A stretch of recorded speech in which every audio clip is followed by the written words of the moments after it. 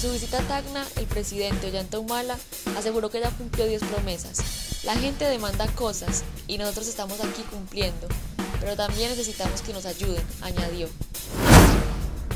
No alcanzó. Según un reporte de la RENIEC, los promotores de la revocatoria Susana Villarán solo juntaron 250.000 firmas válidas. El mandatario Hugo Chávez se inscribirá como candidato presidencial del Partido Socialista Unido de Venezuela y competirá con su opositor Enrique Capriles en las elecciones que se realizarán el próximo 7 de octubre.